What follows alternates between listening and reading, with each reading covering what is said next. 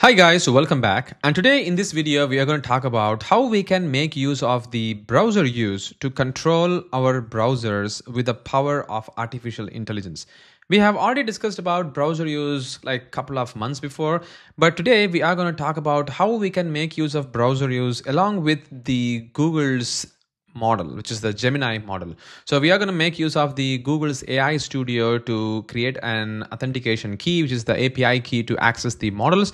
And we are going to see how we can make use of the browser use to work more perfectly with this model. If you remember a couple of months before when I released this uh, browser use video, I told that the browser use supports the OpenAI models pretty well, which is the GPT models pretty well. But now that the browser use has evolved so much that it can also support quite a lot of different models much, much better way because most of the models now supports the tooling. So this browser use has got support for all of these models as you can see over here.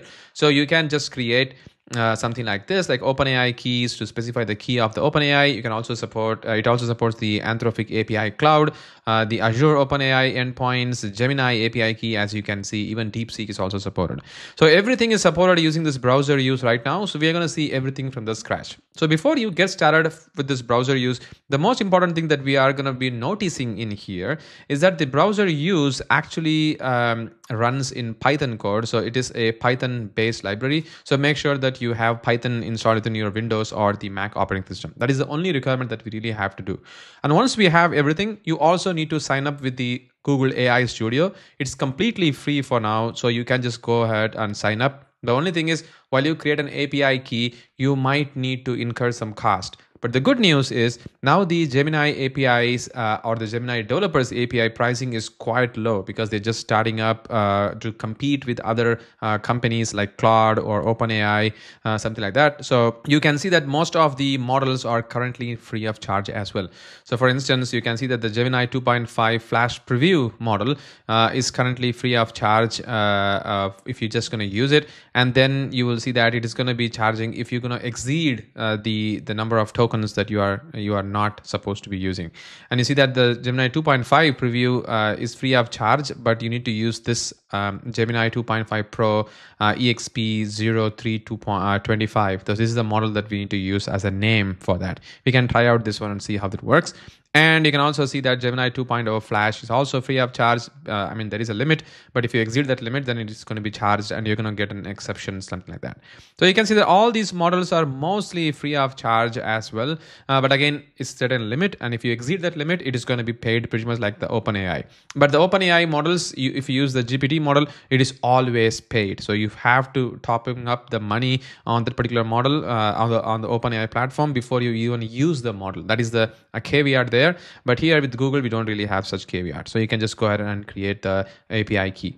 So i have already signed up to the ai studio uh, google.com so if you just do that and if you just go see that there is this uh, get api key link over here and I have already created an API key. You can create an API key, something like this, and you can create a project, but I have created a Gemini uh, API project, something like this. And this is the API key that I have got. I can go ahead and copy that. I can reuse that every single time. See that the plan currently I'm using is the free plan really. So I'm not really using any paid plan as such.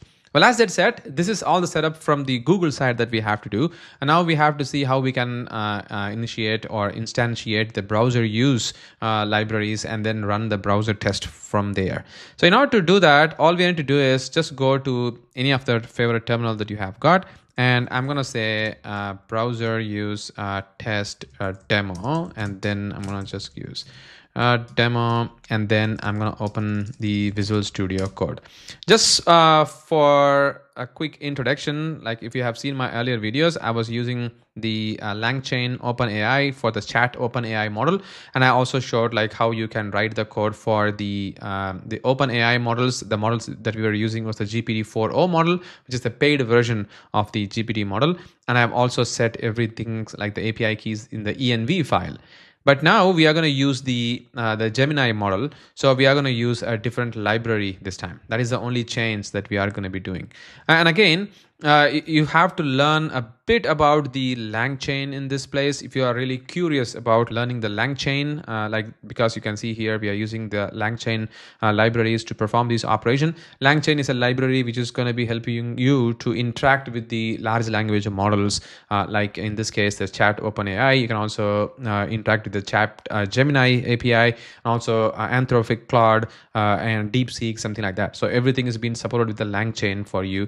So if you really wanted to learn even more about LangChain, uh, just head over to my course over here uh, in Udemy, where I have talked about uh, build and test AI agents, chatbots, RAGs with Ollama and local large language model. So this course actually uses uh, LangChain uh, and LangSmith to perform all the different operations that we are going to be discussing even in this particular video.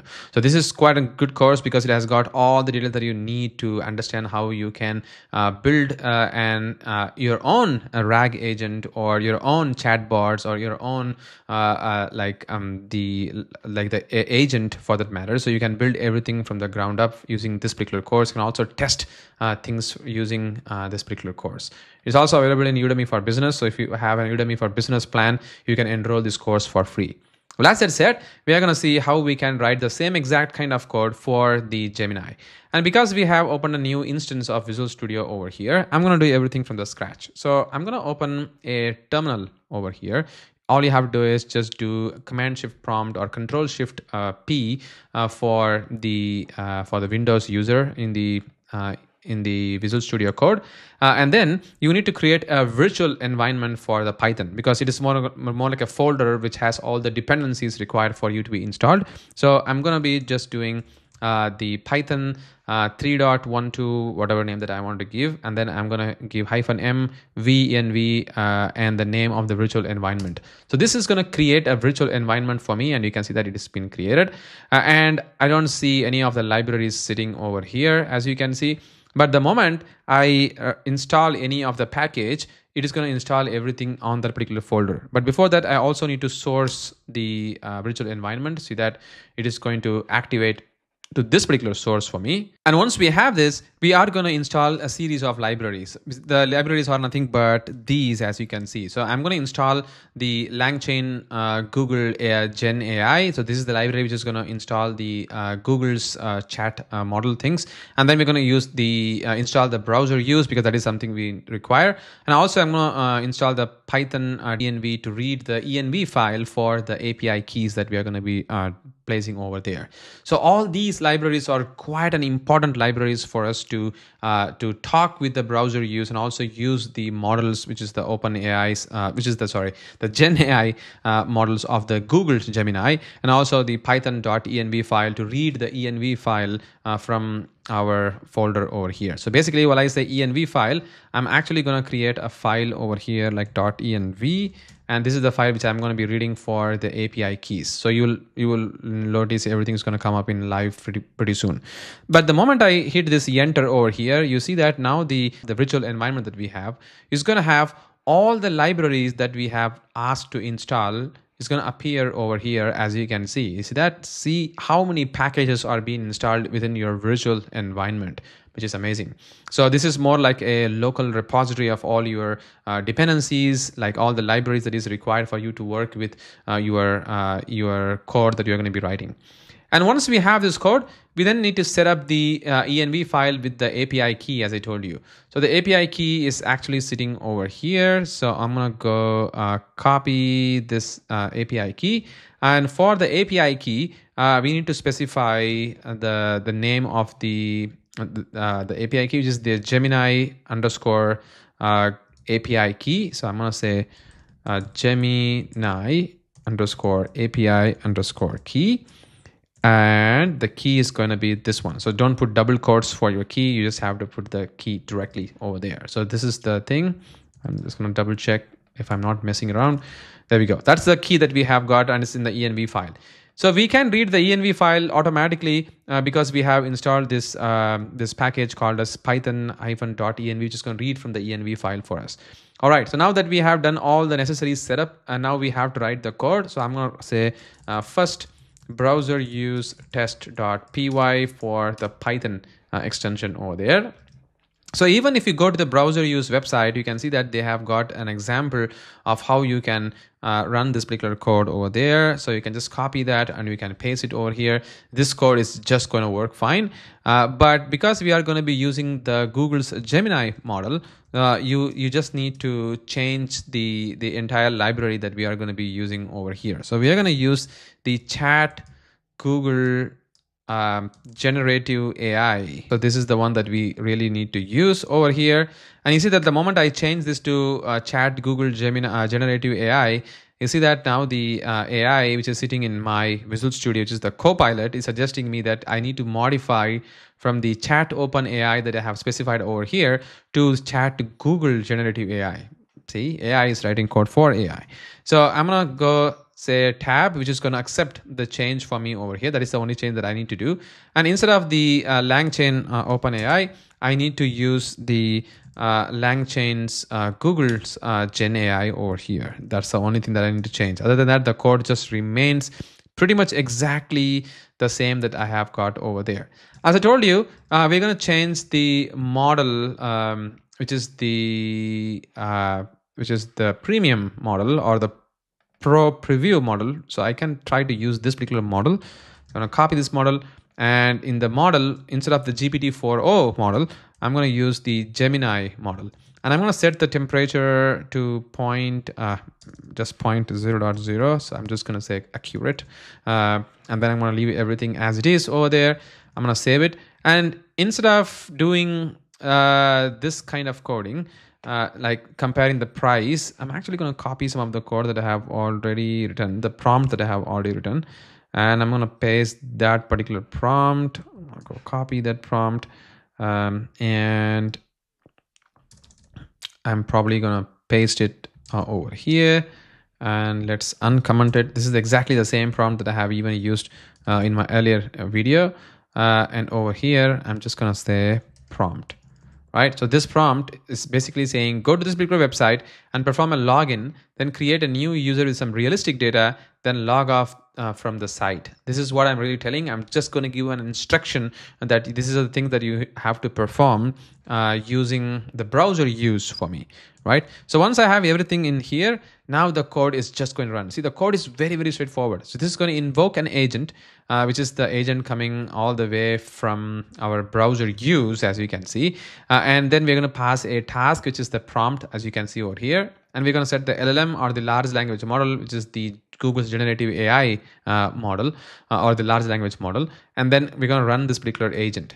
That's what we are really doing in this particular code. And because it's an asynchronous code we have to use this async io run uh, to run this particular main method. And now i'm going to run this code and i'm going to see what is going to really happen. So in order to run this i'm just going to say python uh, and then first browser test.py and i'm going to hit enter and you see that the moment i hit enter over here it is going to open the browser for me as you can see over here. So it's going to launch the eaapp.somee.com website and you see that the browser use is just going to kick in. So it is going to do a login and then it's going to go create a new user because we told uh, to create a new user. You see that now it's trying to enter the admin uh, and the uh, admin as the password and now it's going to go to the uh, manage user and it is seeing that if there is a way that it can create any user and there is no way so now it is going to the create new probably and we see that it has went there. And now it is going to enter the details for the the user and it is so immediate that it is uh, doing it for us over there.